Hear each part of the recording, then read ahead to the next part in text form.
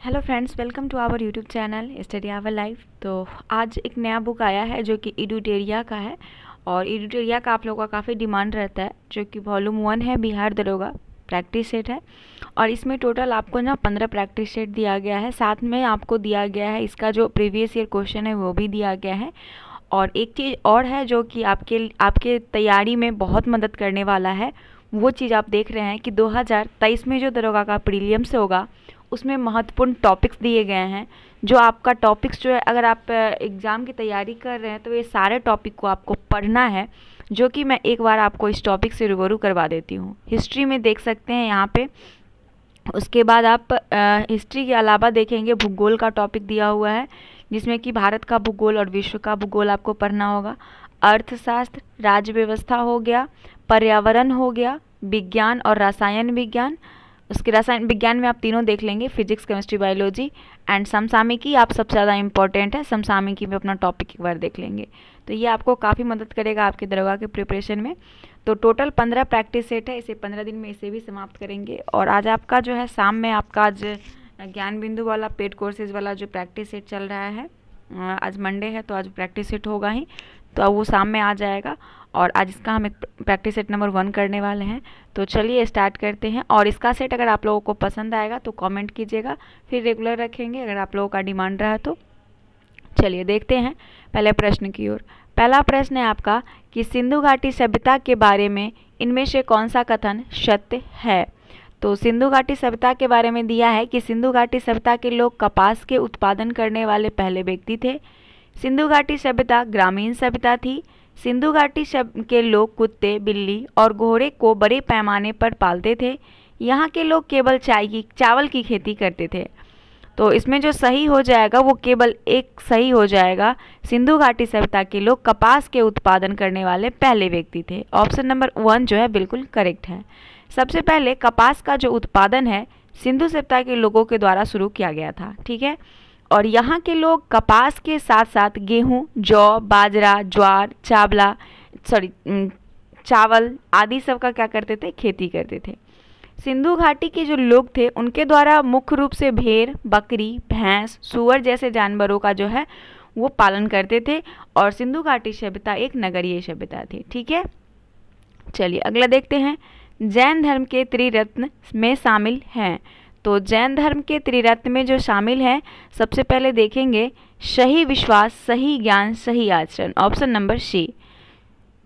जैन धर्म के त्रिरत्न में आपने पढ़ा होगा, सम्यक दर्शन, सम्यक ज्ञान और सम्यक सम्यक आचरण। ये तीन चीज़ था, इसका मतलब होता है, सम्यक का मतलब होता है सही। तो सम्यक दर्शन, सम्यक ज्ञान, सम्यक आचरण, ये जैन, ये जो है आपका जैन धर्म के त्रिरत्न में शामिल है।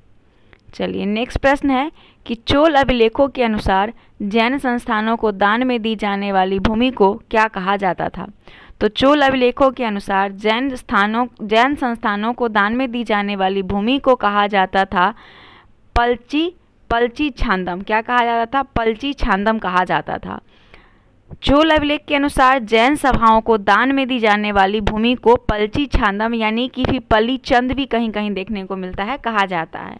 और ये गैर ब्राह्मणों को दी जाने वाली भूमि को, गैर ब्राह्मणों को दी जाने वाली भूमि को क्या कहते थे? बेलन वाकई कहते थे।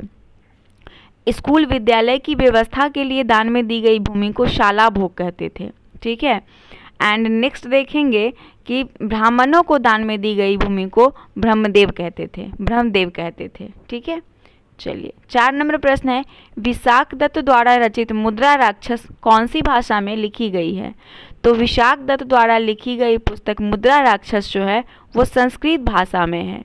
और यह एक नाटक है जिसकी रचना चौथी सदी में उत्तरांत एवं पाँचवीं सदी के पूर्वार्थ में की गई थी। इसे हिंदी में अनुवाद करने का श्रेय जो जाता है, वो भी ध्यान रखिएगा भारतेंदु हरिश्चंद्र को प्राप्त है और इस ग्रंथ से चंद्रगुप्त मौर्य के विषय में विस्तृत जानकारी हमें मिलती है। और इस नाटक में चंद्रगुप्त मौर्य को वृसल और कुलहीन कहा गया है। वृसल और कुलहीन। निम्नलिखित में से किस शासक के शासनकाल में भारत का पहला मुद्रा रुपया मुद्रित हुआ था? तो शेरशाह सूरी के काल में। शेरशाह सूरी के काल, शासन काल में भारत का पहला मुद्रा रुपया जो है वो मुद्रित हुआ था, जिसका वज़न 178 ग्रेन का था और यह रुपया चांदी का था। छठा नंबर प्रश्न है कि निम्नलिखित में किसके शासन काल में मुगलों और मराठों के बीच द्वंद्व प्रारंभ हुआ? तो औरंगज़ेब, इसका करेक्ट आंसर हो जाएगा। और सोलह की बात है, सोलह में शाहजहाँ के शासनकाल में सर्वप्रथम, एक मिनट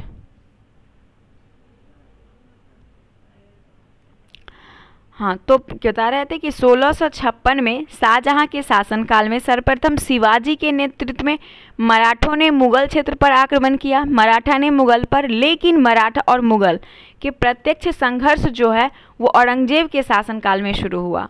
और सोलह में ही आपका पुरबंदर की संधि जो है होती है शिवाजी की भिड़त मुगल सेनापति जय सिंह से। और आगे चलकर 1680 से 1707 ईस्वी तक जो है, मुगलों के खिलाफ मराठों का स्वतंत्र संघर्ष चलता रहा था। इसीलिए आंसर आपका डी करेक्ट हो गया। सात नंबर प्रश्न है कि भारत में किस गवर्नर जनरल की, भारत में किस गवर्नर जनरल को स्थानीय स्वशासन का पिता कहा जाता है? तो लॉर्ड रिपन को कहा जाता है। भारत में आधुनिक स्थानीय शासन को प्रारंभ करने का श्रेय रिपन को जाता है और रिपन को स्थानीय स्वशासन का पिता कहा जाता है। इनके समय में ही भारत सन अठारह सौ इक्यासी में सर्वप्रथम नियमित जनगणना कराई गई थी और तब से लेकर जो अब तक है दस दस वर्ष पर प्रत्येक वर्ष जो है वो जनगणना कराई जाती है। ब्रिटिश साम्राज्य में अवध का विलय हुआ था।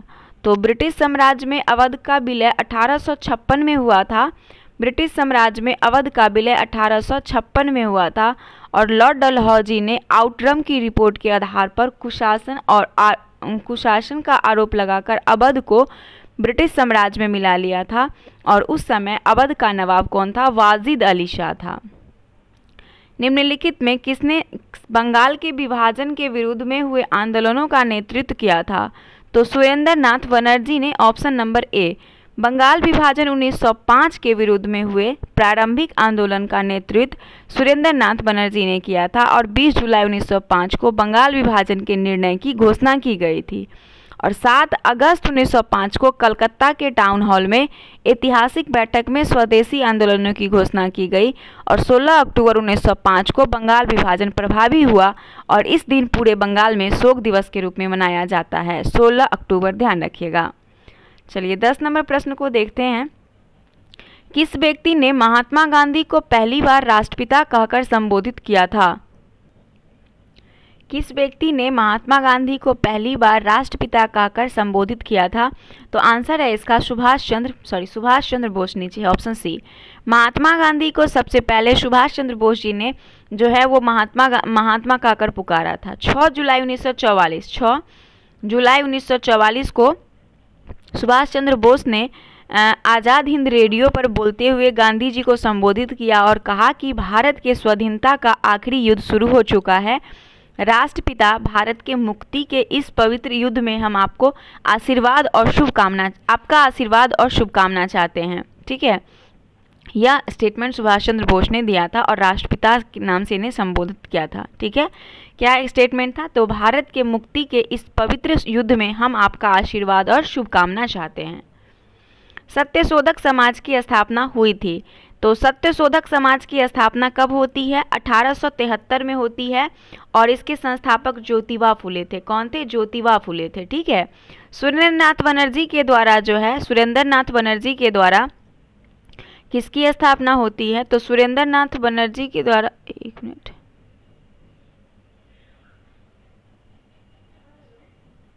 सॉरी, मुझे लगा मैच करने वाला है। सत्यशोधक समाज की स्थापना हुई थी तो सत्रह सौ तिहत्तर में आपका ये बिल्कुल करेक्ट आंसर है, जो कि सत्रह सौ तिहत्तर में आपको पता होगा कि जो, ये ज्योतिबा फुले जो थे, उनके द्वारा ज्योतिबा फुले के द्वारा अठारह सौ तिहत्तर में जो है वो सत्यशोधक समाज की स्थापना हुई थी, ठीक है? अच्छा प्रार्थना समाज भी आपके लिए इम्पोर्टेंट है, जो अठारह सौ सड़सठ में हुआ था केशव चंद्र सेन और आत्मारांग पांडुरंग। और एम जी रनाडे के द्वारा हुआ था। फिर आर्य समाज अठारह सौ पचहत्तर में आर्य समाज जो है, ये स्वामी दयानंद सरस्वती के द्वारा और तत्वबोधनी सभा याद रखिएगा, अठारह में देवेंद्र नाथ ठाकुर के द्वारा किया गया था। अटला देवी मस्जिद का निर्माण किस शासक द्वारा किया गया था? तो अटला देवी मस्जिद का निर्माण जो किया गया था, ये इब्राहिम शाह तुर्की के द्वारा। इब्राहिम शाह तुर्की के द्वारा अटला देवी मंदिर का निर्माण 1408 में किया गया था। अटला देवी मस्जिद का निर्माण कन्नौज के राजा विजय चंद्र द्वारा निर्मित अटाला देवी के मंदिर को तोड़कर किया गया था। अटाला देवी के मंदिर को तोड़कर किया गया था। अलाउद्दीन के समय भू राजस्व की दर उपज का कितना भाग था? तो एक बटा दो भाग। अलाउद्दीन के समय भू राजस्व की दर अनाज उत्पादन का एक बटा दो भाग था। अलाउद्दीन ने खम्स, यानी कि जो खम्स का मतलब होता था, लूट का धन। सुल्तान का हिस्सा एक बटा चार भाग से बढ़ाकर तीन बटा चार भाग कर दिया था। अगला है, भारतीय संविधान अपने नागरिकों को डैश की समानता का वचन देता है। तो भारतीय संविधान जो है, वो प्रतिष्ठा और अवसर की समानता समानता का वचन देता है, प्रतिष्ठा और अवसर। हमारे भारत के संविधान अपने नागरिकों को सामाजिक हो, आर्थिक और राजनीतिक न्याय तथा विचार, अभिव्यक्ति, विश्वास, धर्म और उपासना की स्वतंत्रता, प्रतिष्ठा और अवसर की समानता प्रदान करता है। आप सभी लोगों को प्रस्तावना याद होगा। प्रस्तावना का ही ये लाइन है, ठीक है? अगला है कि निम्नलिखित में कौन सी समिति ने मूल कर्तव्यों को संविधान में सम्मिलित करने का सुझाव दिया था? तो स्वर्ण सिंह समिति। स्वर्ण सिंह समिति करेक्ट आंसर हो जाएगा। स्वर्ण सिंह समिति की स्तुति पर जो है वो बयालीसवां संविधान संशोधन अधिनियम उन्नीस सौ छिहत्तर के द्वारा भाग चार का, भाग चार का क, अनुच्छेद इक्यावन का क जो है जोड़कर नागरिकों को दस मूल कर्तव्यों का उल्लेख किया गया। और तत्पश्चात छियासीवें संविधान संशोधन अधिनियम 2002 के द्वारा ग्यारहवा मूल ग्यारहवा मूल कर्तव्य जो कि जो कि था आपका छः से लेकर चौदह वर्ष तक के उम्र के बीच अपने बच्चों को शिक्षा के अवसर उपलब्ध कराना जोड़ा गया था। छियासीवा संविधान संशोधन 2002 के द्वारा। तो टोटल छः हो गया। अनुसूचित जनजाति के संरक्षण के लिए एक क्षेत्र को अनुसूचित क्षेत्र के रूप में घोषणा करने की शक्ति किसके पास होती है? तो ये राष्ट्रपति के पास होती है। अनुसूचित जनजाति के संरक्षण के लिए एक क्षेत्र एवं सॉरी एक क्षेत्र का अनुसूचित क्षेत्र के रूप में घोषणा करने की जो शक्ति है, वो भारतीय संविधान के अनुच्छेद 244 का एक 200 244 का एक तथा पांचवी अनुसूची के तहत राष्ट्रपति को प्राप्त हो। और भारतीय संविधान का आर्टिकल 244 का जो दो है, ये आदिवासी क्षेत्र का उल्लेख किया गया है। और इसके प्रशासन का प्रावधान छठी अनुसूची में वर्णित है। असम हो गया, मेघालय, त्रिपुरा, मिजोरम में आदिवासी क्षेत्रों से संबंधित है। ग्राम सभा में निम्न में से कौन शामिल होता है? तो ग्राम सभा में जो शामिल होगा, गाँव गाँव विशेष में रहने वाले सभी व्यक्ति, वो सभी व्यक्ति जिनमें, जिनके नाम गाँव विशेष में पंचायत के लिए मतदाता सूची में दर्ज हो, गाँव विशेष के सभी वयस्क पुरुष। Option number D correct answer है। नहीं ऑप्शन नंबर बी बिल्कुल करेक्ट आंसर होगा। वो व्यक्ति जिनके नाम गाँव विशेष में पंचायत के लिए मतदाता सूची में दर्ज हो, वो ग्राम सभा में सम्मिलित होगा। है ना? Option number B. अनुच्छेद 243 का ख के अंतर्गत ग्राम सभा में वो सभी व्यक्ति जिनके नाम गाँव विशेष में पंचायत के मतदाता सूची में दर्ज हैं, वो सभी शामिल होते हैं। संविधान का निम्न में से कौन सा संशोधन केंद्र तथा राज्यों में मंत्रिपरिषद के मंत्रियों की अधिकतम संख्या सीमित करता है? तो वो हो जाएगा आपका ऑप्शन नंबर सी, इक्यानवेवा संविधान संशोधन। नाइन्टी वोवा संविधान 2003 का है। 2003 के द्वारा केंद्र या राज्य की मंत्री स्तर के आकार को निम्न सदन के सदस्यों की संख्या 15 प्रतिशत करने की व्यवस्था की गई और इसी संविधान संशोधन में छोटे राज्यों को कम से कम 12 मंत्रियों की नियुक्ति करने का अधिकार प्रदान किया गया। ठीक है, चलिए 19 नंबर प्रश्न देखते हैं। निम्न में कौन सा एक संवैधानिक संस्था नहीं है? तो नीति आयोग आपका नहीं है, ये योजना आयोग का स्थान लिया है। इसका स्थापना एक जनवरी 2015 को हुआ है है ना? और नीति आयोग के उपाध्यक्ष की बात करें तो सुमन बैरी हैं। और अभी कमेंट करके आप लोग बताइएगा कि वर्तमान में नीति आयोग के सीईओ कौन है, क्योंकि हम पिछले वाले सारे वीडियो में आपको नीति आयोग के सीईओ के बारे में बताए हैं। और अध्यक्ष, आपको पता है कि प्रधानमंत्री होते हैं। 1946 में निर्मित अंतरिम सरकार में कार्यपालिका परिषद के उपसभापति थे। तो 1946 में निर्मित अंतरिम सरकार में कार्यपालिका परिषद के जो उपसभापति थे, वो कौन थे? जवाहरलाल नेहरू थे। 24 अगस्त 1946 को अंतरिम राष्ट्रीय अंतरिम राष्ट्रीय सरकार की घोषणा व्यवस्था की जाती है और अंतरिम सरकार 2 सितंबर 1946 को कार्यभार संभालेगी। वायसराय इसमें कार्यपालिका परिषद का पदेन अध्यक्ष एवं जवाहरलाल नेहरू उपाध्यक्ष एवं उपसभापति बनाए गए थे। तो 1946 में निर्मित अंतरिम सरकार में कार्यपालिका परिषद के उपसभापति जवाहरलाल नेहरू थे। भारतीय संविधान के किस अनुच्छेद में केंद्र शासित प्रदेशों के लिए उच्च न्यायालय का प्रावधान है? 241 अनुच्छेद 241 जो है, इसमें हो जाएगा ऑप्शन नंबर सी। अनुच्छेद 231 की अगर हम बात करते हैं तो इसमें दो या दो से अधिक राज्यों के लिए एक ही उच्च न्यायालय होगा। ठीक है? 214 में देखते हैं तो इसमें दिया है कि राज्यों के लिए उच्च न्यायालय होगा। राज्यों के लिए उच्च न्यायालय 214 में। दो में है, संघ राज्यों के क्षेत्र का प्रशासन। संघ राज्य क्षेत्रों का प्रशासन। और 241 में संघ राज्य क्षेत्रों के लिए उच्च न्यायालय। लोकसभा के स्पीकर का निर्वाचन होता है।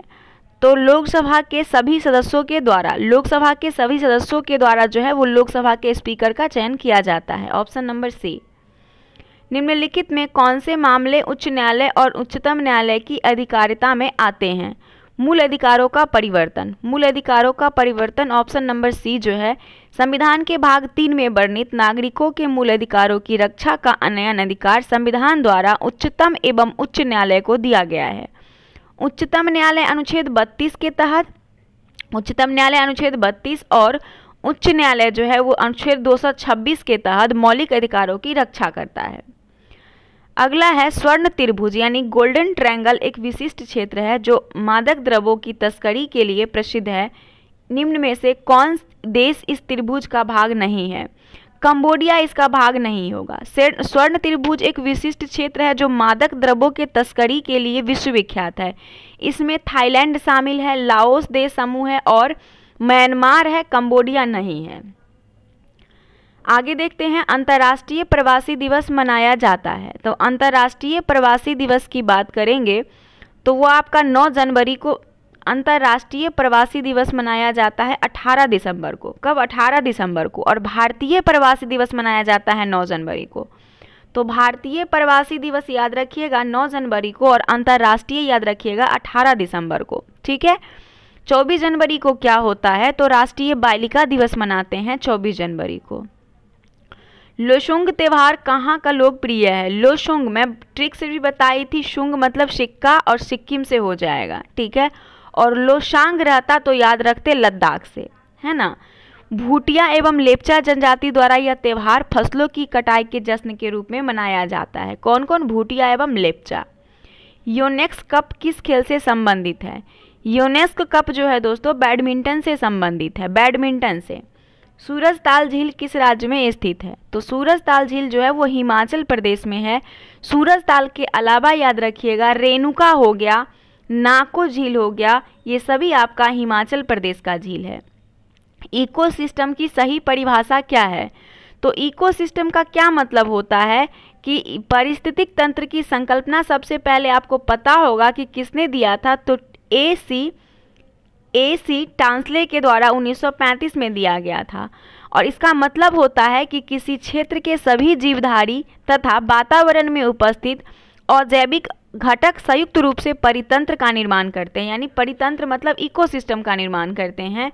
तो इसमें आपका आंसर जो हो जाएगा, वो जीव समुदाय और उसके वातावरण को संतुलित तंत्र हो जाएगा। तीस नंबर है, पारिस्थितिक संतुलन बनाए रखने के लिए भारत में वन क्षेत्र कितने प्रतिशत होने चाहिए? तो 33.33 परसेंट जो है, वो पारिस्थित, भारत में पारिस्थितिक संतुलन बनाए रखने के लिए वन क्षेत्र होना चाहिए। एपीफाइट्स पौधे बहुत अधिक विकसित होने वाले पौधे हैं जो अन्य पौधे पर निर्भर रहते हैं। क्यों? तो एपीफाइट्स पौधे की बात करें तो ये यांत्रिक मदद हेतु। किसके हेतु? यांत्रिक मदद हेतु। एपिकफाइट पौधे वो पौधे होते हैं जो आश्रय के लिए अन्य वृक्षों पर निर्भर होते हैं, लेकिन पोषक तत्वों के लिए इस पर निर्भर नहीं होते हैं। ये पौधे वर्षा जल, वायु, अन्य स्रोतों से अपना पोषक पदार्थ प्राप्त करते हैं। निम्नलिखित में कौन सुमेलित नहीं है? जैम मंडल आरक्षित क्षेत्र और स्थापना वर्ष सिमलीपाल का स्थापना उन्नीस सौ चौरानवे में हुआ था उड़ीसा में। कहाँ पे? उड़ीसा में, याद रखिए। सॉरी झो लिखा गया। उड़ीसा में। एक मिनट, गलत लिखा जा रहा है। उड़ीसा याद रखिएगा, ठीक है? एंड कंचनजंगा का स्थापना होता है 2000 में। 2002 में नहीं 2000 में होता है, जो कि सिक्किम में है। कहाँ पे? सिक्किम में हो जाएगा। ये आपका गलत है। नेक्स्ट है नोकरेक। नोकरेक का स्थापना 1988 में मेघालय में होता है। मेघालय में। नेक्स्ट है पन्ना 2011 में एमपी में होता है मध्य प्रदेश में। तो बाकी सभी सही है ऑप्शन बी को छोड़ के। क्षेत्रीय भाषा में निर्णय प्रकाशित करने वाला पहला हाईकोर्ट कौन सा है? तो केरल हाईकोर्ट है जो कि क्षेत्रीय, केरल हाईकोर्ट भारत का पहला हाईकोर्ट बना जो अपने निर्णय को वहाँ के क्षेत्रीय भाषा में प्रकाशित करेगा। हाईकोर्ट की कार्यवाही को लाइव प्रसारण लाइव प्रसारण करने वाला पहला हाईकोर्ट पूछे तो वो गुजरात है। लाइव प्रसारण करने वाला, लाइव प्रसारण करने वाला गुजरात है और क्षेत्रीय भाषा में निर्णय प्रकाशित करने वाला केरल है। बात पे ध्यान दीजिएगा।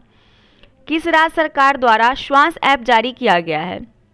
तो श्वास ऐप को तमिलनाडु राज्य सरकार ने जारी किया है और ये जो है राज्य के स्वच्छता कर्मचारियों और उनके परिवार के सदस्यों हेतु, कल्याण हेतु इस ऐप को जारी किया गया है। पैंतीस नंबर प्रश्न है कि हाल ही में संगम नौसेना अभ्यास का आयोजन भारत ने किस देश के साथ किया है? संगम नौसेना अभ्यास, ये अमेरिका के साथ हुआ सातवां संगम युद्ध अभ्यास भारत और अमेरिका के मध्य दिसंबर 2022 में, दिसंबर 2022 में गोवा में संपन्न हुआ। कहाँ पे? गोवा में। संस्करण सातवां था, गोवा में आयोजित किया गया, है ना? भारत और अमेरिका के बीच। नेक्स्ट है, अंतर्राष्ट्रीय श्रम संगठन यानी आईएलओ में शामिल होने वाला एक सौ देश कौन सा है? तो टोंगा है। टोंगा जो है, अंतर्राष्ट्रीय श्रम संगठन की स्थापना कब होती है? याद रखिएगा, जब आपका जालियावाला बाग हत्याकांड होता है 1919 में। और इसका मुख्यालय कहाँ पे है? जेनेवा में है। इसका हेडक्वार्टर जेनेवा में है।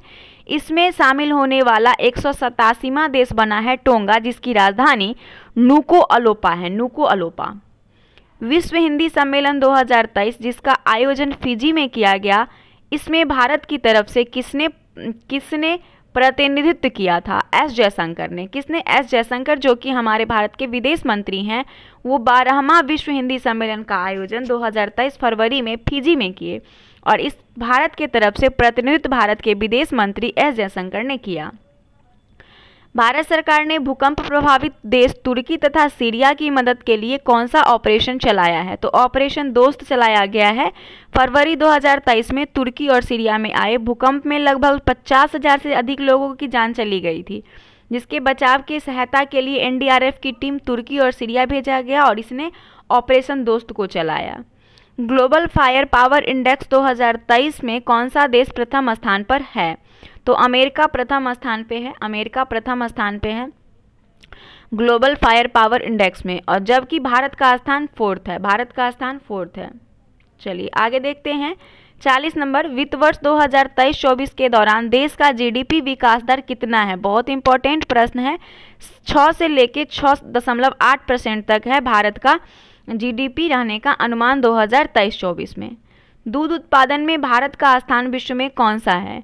पहला स्थान है। वैश्विक दूध उत्पादन में भारत का स्थान विश्व में पहला है। भारत विश्व में कुल दूध उत्पादन का लगभग 25 परसेंट योगदान करता है।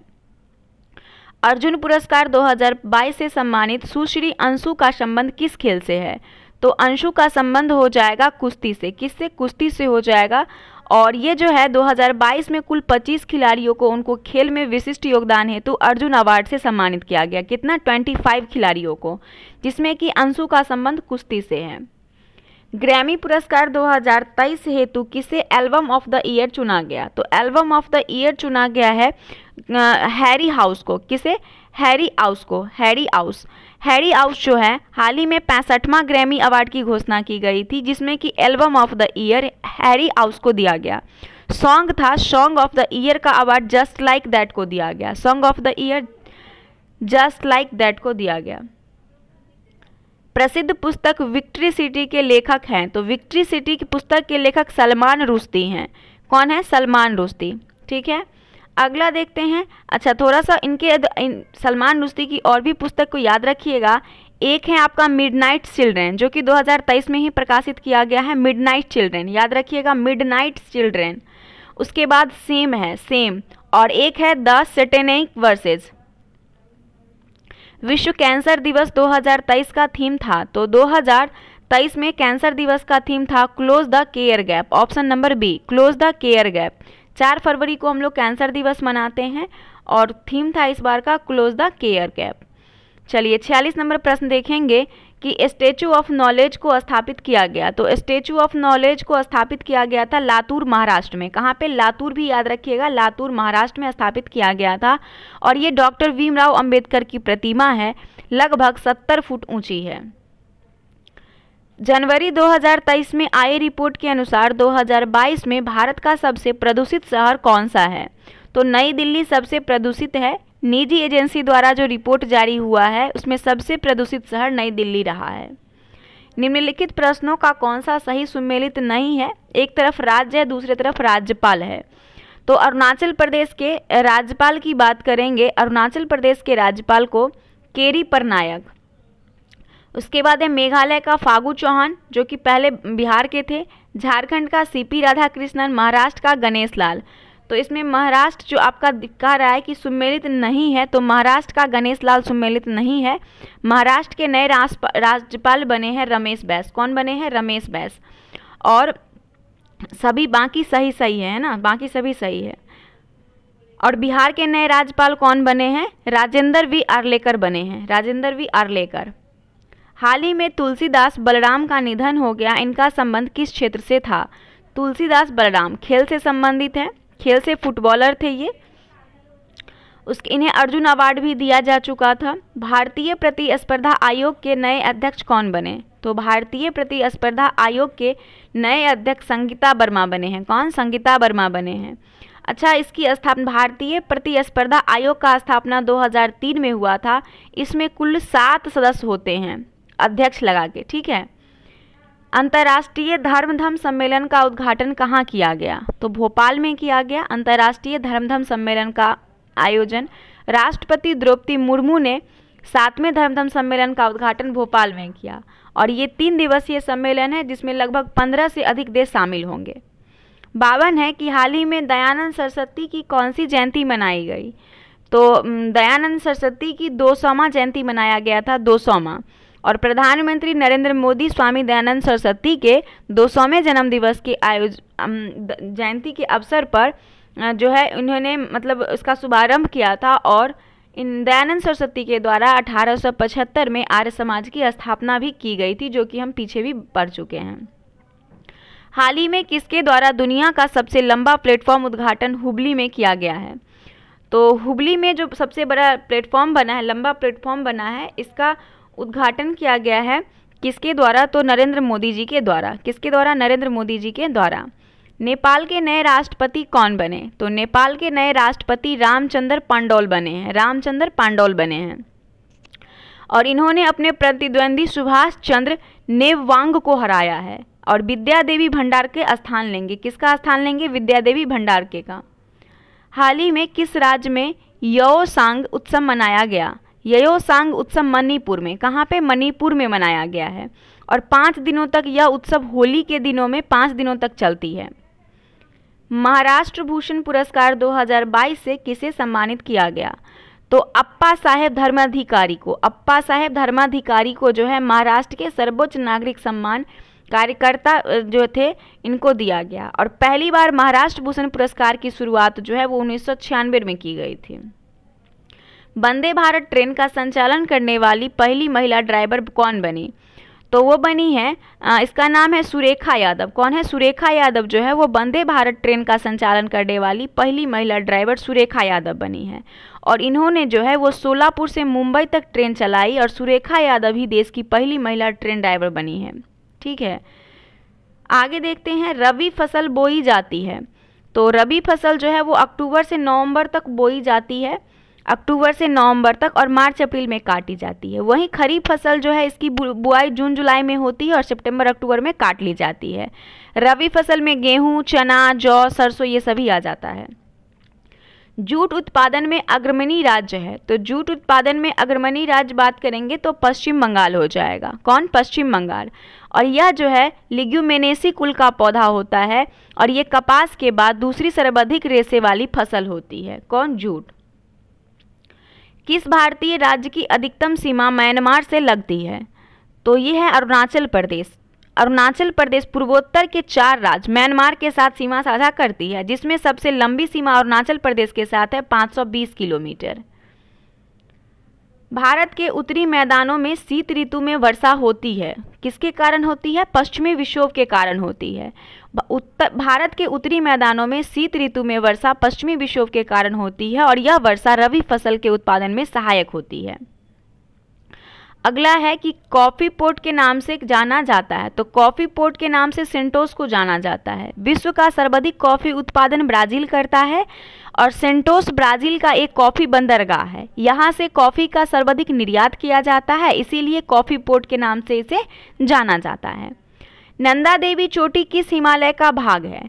तो नंदा देवी चोटी चोटी जो है, ये कुमाऊं हिमालय का भाग है या उत्तराखंड में स्थित है और भारत की दूसरी सबसे बड़ी चोटी है। इस हिमालय की प्रमुख चोटी कामेत है, केदारनाथ, त्रिशूल इत्यादि है। तो ऑप्शन नंबर क्या हो जाएगा? इसका बी, सी आंसर करेक्ट हो जाएगा। द्वीपों का समूह लक्षद्वीप। ये पता है कि प्रवाल निर्मित द्वीप है। लक्षद्वीप जो है वो प्रवाल द्वारा निर्मित है और ये लक्ष, लक्षद्वीप अरब सागर में स्थित है और ये प्रवाल द्वारा निर्मित है। लक्षद्वीप 36 छोटे छोटे द्वीपों का एक समूह है। इसे 1956 में केंद्र शासित प्रदेश के रूप में स्थापित किया गया। चलिए देखते हैं पैंसठ नंबर। दूध गंगा निम्नलिखित में किसकी सहायक नदी है? तो दूध गंगा जो सहायक नदी है चिनाब की, किसकी? चिनाब की सहायक नदी है दूध गंगा ये जम्मू और कश्मीर में प्रवाहित होती है, जबकि किशन गंगा झेलम की सहायक नदी है, उसके बाद राम गंगा गंगा की सहायक नदी है।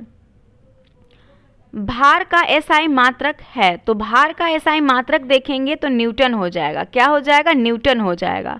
भार का एसआई मात्रक न्यूटन होता है वही अगर हम मीटर की बात करें तो लंबाई का होता है, द्रव्यमान का किलोग्राम होता है, द्रव्यमान का किलोग्राम होता है, समय का समय का सेकेंड होता है, विद्युत धारा का एम्पियर, ताप का केल्विन, पदार्थ की मात्रा का मोल, ज्योति तीव्रता का कैंडेला होता है।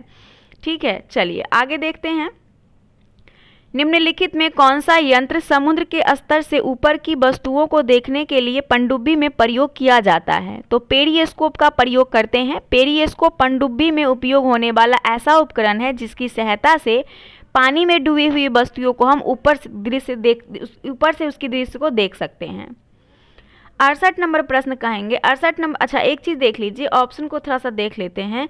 बहुत ज़रूरी होता है। पायरोमीटर क्या है? पायरोमीटर दूर दूर स्थित वस्तुओं के ताप को ज्ञात करने के लिए होता है। ओडोमीटर ओडोमीटर आप नाम से ही स्पष्ट होंगे कि गाड़ी के द्वारा चली गई दूरी का माप है और एनीमोमीटर हवा का बेग है। आगे है, यदि कार्य का मान धनात्मक तो जिस निकाय पर कार्य हो रहा है, क्या प्रभाव पड़ेगा? उसकी ऊर्जा में वृद्धि हो जाएगी। ऑप्शन नंबर डी, ऊर्जा एक ऐसा कारक है जो कार्य करने के लिए आवश्यक होता है जिस कारण से किसी वस्तु में कार्य करने की क्षमता होगी, होती है और उसे हम क्या कहते हैं? ऊर्जा कहते हैं। और यदि कार्य करने का मान धनात्मक हो तो निकाय पर हो रहे कार्य ऊर्जा में वृद्धि होती है। यदि दो कणों के बीच की दूरी बढ़ जाती है तो इनके बीच गुरुत्वाकर्षण बल पर क्या प्रभाव पड़ेगा? तो दो कण के बीच अगर दूरी बढ़ जाएगी तो इनके बीच का जो गुरुत्वाकर्षण बल होगा, उसका प्रभाव कम हो जाएगा। क्या हो जाएगा? कम हो जाएगा। उत्क्षेप बल और भार कार्य करते हैं। उत्क्षेप बल और भार कार्य करते हैं। तो ये क्या करते हैं? विपरीत दिशा में कार्य करते हैं। क्या करते हैं? विपरीत दिशा में। उत्क्षेप बल और भार विपरीत दिशाओं में कार्य करते हैं। अगला है, निम्न में से क्या तरंग की विशेषता नहीं है? तो माध्यम जो है वो तरंग की विशेषता नहीं है। तरंग की विशेषता माध्यम नहीं, जबकि तरंग धैर्य आयाम, आवृत्ति तरंग की विशेषता है। तो याद रखिएगा आयाम तरंगधर और आवृत्ति ये सभी तरंग की विशेषता है। निम्नलिखित में कौन सा विकल्प रासायनिक परिवर्तन है? दूध का दही में परिवर्तन होना। दूध का दही में परिवर्तन होना रासायनिक परिवर्तन है, क्योंकि फिर से आप दूध दूध से दही बना सकते हैं, लेकिन दही से वापस आप दूध नहीं बना सकते हैं। शुष्क बर्फ़ का सब्लिमेशन सही, ये आपका नहीं होगा। रेत का पानी में घुलना, चीनी का पानी में घुलना ये सब जो है आपका नहीं होगा, क्योंकि दूध का दही में परिवर्तन होना रासायनिक परिवर्तन है, जबकि अन्य से सभी आपका भौतिक परिवर्तन है। निम्नलिखित में किसने परमाणु की अविभाज्यता के बारे में बताया? तो इसका आंसर आप देखेंगे तो हो जाएगा, डाल्टन ने बताया था। परमाणु की अविभाज्यता के बारे में सबसे पहले डाल्टन ने बताया था। निम्नलिखित में कौन सा सामान्य तापमान पर द्रव अवस्था में होता है? गैलियम होता है। क्या होता है? गैलियम। गैलियम एक धातु है। इसको हम जी ए से लिखते हैं और ये प्रकृति में मुलायम और चांदी जैसे सफ़ेद होती है और ये सामान्य टेम्परेचर में तरल अवस्था में होता है। निम्नलिखित में कौन सा किसी धातु का इलेक्ट्रॉनिक विन्यास नहीं है? तो इसका हो जाएगा दो और छः। दो और छः इलेक्ट्रॉनिक विन्यास की बात करेंगे तो ऑक्सीजन का दो और छः गैस का हो जाएगा। दो एक की बात करेंगे तो ये लिथियम धातु हो जाएगा। दो आठ एक, ये सोडियम धातु का है और दो आठ तीन, ये एल्युमिनियम धातु का विन्यास होगा। निम्नलिखित में से किससे एक तत्व के भार की तुलना में एक मूल्य विशेषता माना जाता है? तो परमाणु क्रमांक को माना जाता है। किसी परमाणु के नाभिक में उपस्थित प्रोटॉन की संख्या को उस तत्व के परमाणु क्रमांक कहते हैं और परमाणु क्रमांक को तत्व के भार की तुलना में एक मूल विशेषता माना जाता है। ऑक्सीकरण प्रतिक्रियाओं में निम्नलिखित में क्या होता है? तो इसमें क्या होगा? इलेक्ट्रॉन में कमी होती है। इलेक्ट्रॉन में कमी हो जाती है ऑक्सीकरण प्रतिक्रिया में। चलिए, अगला देखते हैं। Question number, sorry. यदि किसी लवण का पीएच मान शून्य हो तो वह डैश का लवण होता है। तो वो जो हो जाएगा आपका सशक्त एसिड और कमज़ोर बेस हो जाएगा। ठीक है? नेक्स्ट है कि जलीय विलयन में किसी अम्ल या क्षार में क्या परिवर्तन होता है? तो क्षार जल में O H O H minus ion निर्मित करते हैं। क्या करते हैं? क्षार जल में ओ एच माइनस आयन प्रदान करते हैं। ऑप्शन नंबर ए बिल्कुल करेक्ट आंसर हो जाएगा। उस निष्क्रिय गैस का क्या नाम है जिसे आधुनिक आवर्त सारणी के पहले आवर्त में रखा गया है? तो वो है आपका हीलियम। हीलियम निष्क्रिय गैस हीलियम है। इसके जो है, इसको जो है वो आधुनिक आवर्त सारणी में पहले आवर्त में रखा गया है। ठीक है? और आधुनिक आवर्त सारणी में शून्य समूह के छह निष्क्रिय गैस है। हीलियम है, neon, argon, krypton, xenon, radon है। अधातुओं का व्यापक उपयोग निम्न में से किसमें होता है? तो खाद में होता है। और धातुओं का व्यापक उपयोग उर्वरकों में पौधों के बेहतर वृद्धि के लिए खाद के रूप में किया जाता है। कास्टिक सोडा का रासायनिक नाम है तो कास्टिक सोडा का रासायनिक नाम सोडियम हाइड्रोक्साइड है। क्या है सोडियम हाइड्रोक्साइड सोडियम कार्बोनेट को वॉशिंग सोडा बोलते हैं और सोडियम क्लोराइड को साधारण नमक बोलते हैं। सोडियम थायोसल्फेट को फोटोग्राफी में प्रयोग किया जाता है। हेमेटोलॉजी का अध्ययन निम्नलिखित में से किससे संबंधित है? तो हेमेटोलॉजी, ब्लड से हो जाएगा, रक्त से। हेमेटोलॉजी डेंट्रोलॉजी वृक्ष एवं झाड़ियों के अध्ययन से हो जाता है। और वायरोलॉजी की बात करें तो वायरोलॉजी आपका विषाणुओं का अध्ययन वायरोलॉजी होता है। टिश्यू कल्चर कृत्रिम माध्यम से उत्तकों का संवर्धन है टिश्यू कल्चर पानी की कमी के कारण कोशिका के सकुचित विधि से अलग होने की प्रक्रिया को क्या कहा जाता है? तो इसे प्ला, क्या कहते हैं? प्लाज्मोलिसिस कहते हैं। Option number D. पानी की कमी के कारण कोशिका के सकुचित होकर कोशिका भित्ति से अलग होने की प्रक्रिया को प्लाज्मोलिसिस यानी जीव द्रव कुंजन कहते हैं जीव द्रव कुंजन। हमारे शरीर में वसा संचायक उत्तक कौन सा है? तो हमारे शरीर में वसा संचायक उत्तक जो होगा, एडिपोज उत्तक होगा। कौन होगा? एडिपोज उत्तक हो जाएगा। वसा उत्तक दो प्रकार का होता है, एक तो आपका एरियोलर होता है और दूसरा एडिपोज उत्तक होता है है ना? अस्थाई उत्तकों के निर्माण के लिए एक अस्थाई संरचना, आकार और क्रिया अपनाने की प्रक्रिया को क्या कहा जाता है? तो उसे विभेदन कहते हैं। पादपों में सबसे प्रचुर मात्रा में उपस्थित तत्व है। तो पादपों में प्रचुर मात्रा में उपस्थित तत्व आपका क्या हो जाएगा? कार्बन हो जाएगा। क्या हो जाएगा? कार्बन हो जाएगा। अगला है, निम्नलिखित में किसने सजीव वस्तुओं में लक्षणों की अनुवांशिक के सिद्धांत के प्रतिपादन में योगदान किया? तो दोस्तों, इसका आंसर ग्रेगर मेंडल हो जाएगा। ग्रेगर ग्रेगर जॉन मेंडल जो था, ये इनके द्वारा हो जाएगा। सजीव वस्तुओं में लक्षणों की अनुवांशिक के सिद्धांतों के प्रतिपादन का योगदान किया था। अगला प्रश्न आते हैं क्वेश्चन नंबर एट्टी नाइन। जोंक निम्नलिखित में से किस संघ से संबंधित है? तो जोक आपका एनेलिडा संघ का है, जोक एनेलिडा संघ का। निम्नलिखित में किसमें होमोडोट दांत पाए, होमोडोंट सॉरी होमोडोंट दांत पाए जाते हैं? होमोडोंट दांत जो है वो मछली में पाए जाते हैं, मछली में। होमोडोंट तथा एक्रोडोंट जो समान आकार के होते हैं, दांत पाए जाते हैं, जबकि स्तनधारी में दांत जो होता है वो थीकोडोंट होता है। हेट्रोडोंट ज़्यादातर डाइफिस्टोडोंट होता है। ज़्यादातर क्या होता है? डाइफियोडोंट डाई डाइफियोडोंट होता है ज़्यादातर। मनुष्यों के पाचन तंत्र में उत्सर्जित अम्ल कौन सा होता है? तो वो हो जाएगा आपका हाइड्रोक्लोरिक अम्ल। हाइड्रोक्लोरिक अम्ल जो है, ये मनुष्य का पाचन तंत्र, आहार, नाल एवं इसमें जुड़ी ग्रंथियों का तंत्र होता है। इसमें हाइड्रोक्लोरिक अम्ल जो है, उत्सर्जित होता है। ठीक है, मनुष्य के पाचन तंत्र से। निम्नलिखित में कौन सा रोग विषाणु जनित नहीं है? तो तापेदिक आपका विषाणु जनित नहीं है, तापेदिक जीवाणु जनित रोग है। तापेदिक के अलावा चेचक इन्फ्लुंजा खसरा, पोलियो, एड्स, रेबीज, डेंगू, ये सभी विषाणु जनित रोग है। उन्नीस सौ उनचास में भारत सरकार द्वारा नियुक्त राष्ट्रीय आय समिति का अध्यक्ष निम्नलिखित में कौन था?